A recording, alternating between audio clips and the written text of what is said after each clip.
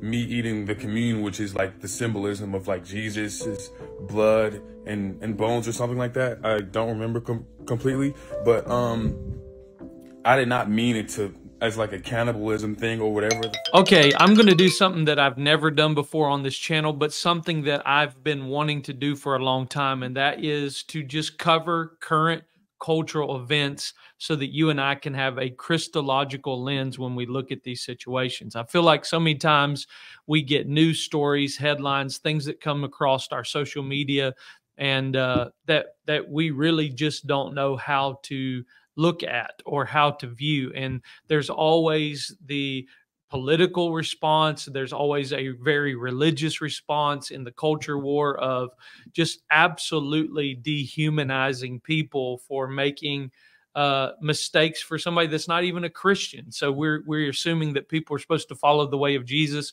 when they don't even know what it means to truly follow Jesus. They've never been to a church that actually preaches the gospel. They may have never been around other believers. I mean, we're living in a nation now where that is very possible for the majority of people. And so on this video, I want to talk about Lil Nas X. So uh, many of us know it seems like he's constantly trolling Christianity.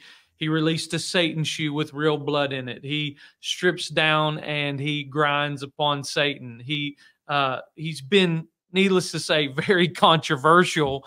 And it seems to be a cycle for him where he releases something controversial, then he gets called out, and then he downplays it, justifies it, or he will say, I'm sorry. But now, Lil Nas X is saying that he's actually entering into his Christian era. So I want to talk about it. But before we get into it, my name is Mark Casto, and this channel exists to bring a more Christological lens for our current events. So whether it's sharing my life, whether it's teaching, sharing a conversation with friends, it's all about helping you put a Jesus lens on to see humanity through. So if you haven't already, click that subscribe button and let's grow together. All right. So on January 15th, 2024, Lil Nas X posted an apology video on Instagram after receiving backlash from Christians over his song and music video, J Christ. In the video, the rapper said, I know I messed up really bad this time. I can't, uh, I can act unbothered all I want, but it's definitely taken a mental toll on me. He also said, I'm not trying to diss Christianity and that he intended to lighten the mood with the TikTok video. Now, I'll be honest with you, I have not heard the song J Christ. I'm probably not going to listen to it uh, just because the reality is I've, I've, I know enough about his music that I'm just not interested. He genuinely is talented, but I'm just not interested. If Lil Nas X is truly entering his Christian era, I have to admit that I'm struggling to understand what that really means. Like, you can sing a song to God and still not be an actual follower of Jesus. And he puts out videos after that about being on his knees for more than just one reason in reference to prayer and for sexual reasons. And then he puts a video uh, out about that's mocking communion, thinking, I think that he thought it would be widely accepted. It looks like it was not. So now he's backpedaling and he released this video that you and I are going to watch together. Uh, we're going to watch parts of it together and see what we can do with it. Hello, everybody. Um, I wanted to not necessarily apologize, but I wanted to explain like where my head at and where it's been for like the last week. So first of all, when I did the artwork, I knew like there would be some upset people or whatnot. Uh, simply because, you know, religion is a very sensitive topic for a lot of people. But I also didn't mean to like mock. This wasn't like a you to you people, um, you to the Christians. Like, you know, it wasn't, it was not that. It was literally me saying, oh, I'm back I'm back like Jesus. Like that was like the whole thing. I'm not the first person to dress up as Jesus. I'm not the first rapper. I'm not the first artist, and I won't be the last. Um, and I know, like, given my history with you know the "Call Me by Your Name" video, anything that I do related to religion can be seen as like mockery that just was not the case with this. Yeah, I and again, I mean, yeah, how else are we supposed to take it when the the he's made direct attacks and mocking of Christianity? But I'm listening. I'm listening. And I will say though, with the communion video, with me eating the crackers and juice, I uh I thought that video was gonna be the video to lighten the mood to take it down like less serious or whatnot. I thought that was something that we all wanted to do as kids or whatnot, but I didn't understand the idea of um you know the reality of what it is. You know, it's me eating the communion, which is like the symbolism of like Jesus's blood and and bones or something like that. I don't remember. See, I don't, I don't know how to take it. Um, like, is he being serious? Like, does he really not know what communion is? Like, like, like, and maybe he genuinely does not. Uh, but, but you know, and and like, I'll give him the benefit of the doubt. Like, I grew up as a pastor's kid, and so like, uh, if he's saying like, I I tried to do this to lighten the mood, where I'm I'm I'm taking communion like like we wanted to when we were little kids. Like if what you mean by that is, you know, me growing up as a pastor's kid, one of my favorite things to do was after church, whatever wafers and grape juice was not used. I genuinely love those little cardboard wafers that we used for communion. So I would eat several of those and I would down the the grape juice. We use Wel- Welch's grape juice. We didn't use real wine because we were Pentecostals. So we used grape juice. If that's what you're talking about, I know what you mean. However, because of your history, how in the world would you think that that would actually like downplay the situation? But hey, I'm still listening.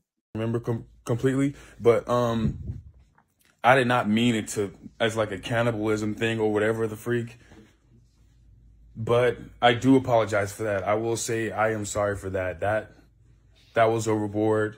Though I'm I don't agree with all of Okay, okay. So let's at least say that that I feel like that was a genuine apology right there. But I hope this is not like an I'm sorry, which means you're moving right along and I'm gonna keep doing what I'm doing.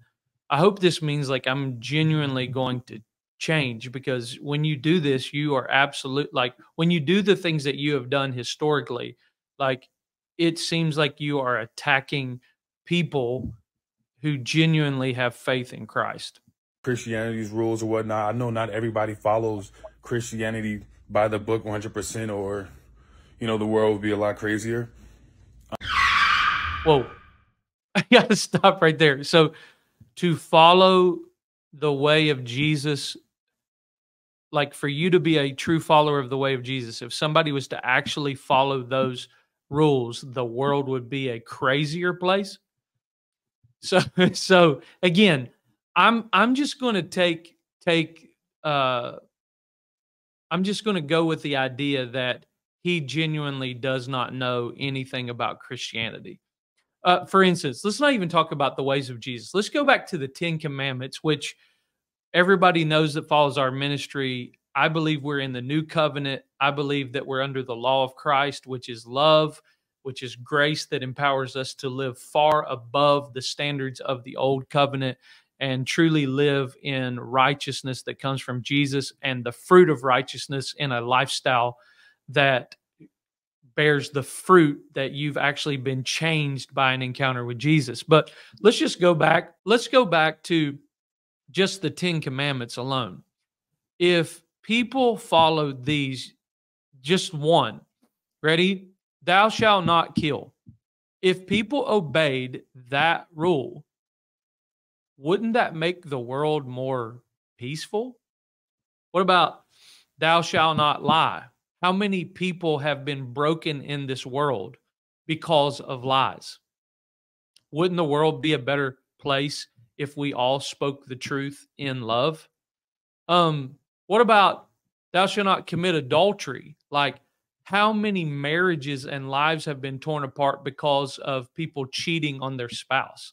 Family marriages that are broken, relationships with kids that are broken because of adultery. So, if people actually stayed together and you kept it in your pants, like probably would make the world a, a better place full of love and strength. And there's no way you can argue with me that the Bible's idea of family, having a father and a mother and being raised by a father and a mother in the home, the world wouldn't be a better place. The statistics are crazy showing you the the just how how powerful it is to have a father present or should I say the statistics are crazy to show you how how dangerous it is for someone to not be raised by a father.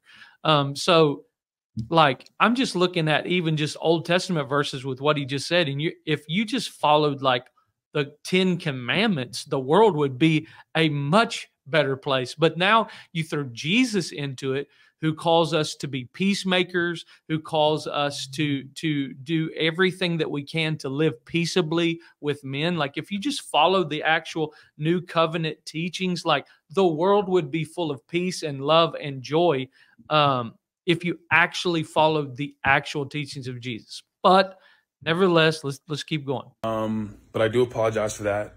Uh, what was I going to say? This is not like to try to get everybody on my good side or whatnot. This is more so to clear my own head about my own decisions. I know, I know, like, you know, I, I messed up like really bad this time. Um, and I can act unbothered all I want, but it's, it's definitely like taking a mental toll on me. Uh, what else do I want to say? Let me stop there. Lil Nas X, that is called the conviction of the Holy Spirit. That is that is God dealing with your heart and saying, "Hey, man, like there's a better way. Like there's a better way. You don't have to. Uh, you don't.